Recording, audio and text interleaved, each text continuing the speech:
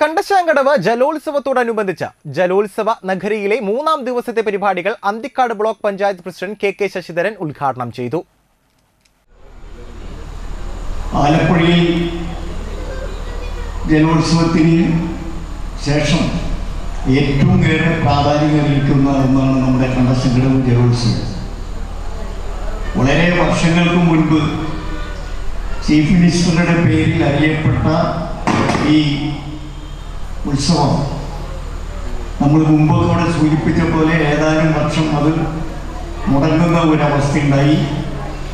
അതിന് അത് പരിഹരിക്കാനുള്ളതിന്റെ അടിസ്ഥാനത്തിലാണ് ഇപ്പോൾ നമ്മൾ ഈ പരിപാടി വളരെ നല്ല രീതിയിൽ ഏറ്റെടുത്ത് നടത്താൻ വേണ്ടി തീരുമാനിച്ചിപ്പോൾ നടന്നുകൊണ്ടിരിക്കുന്നത് ചെയർമാൻ സൈമൺ തെക്കത്ത് അധ്യക്ഷത വഹിച്ചു. ചടങ്ങിൽ Shoy Narayanan Rakesh Kaniyamparambil Beena Xavier Kavitha Ramachandran Shirley Rafi Ratheesh Koonathu Selji Sindhu Sivadas M B Mohanan advocate Suresh Kumar തുടങ്ങിയവർ സംസാരിച്ചു.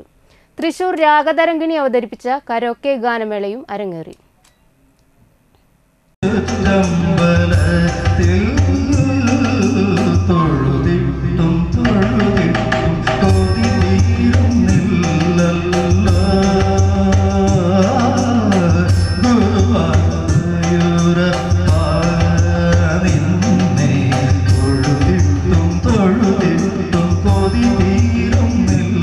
Allah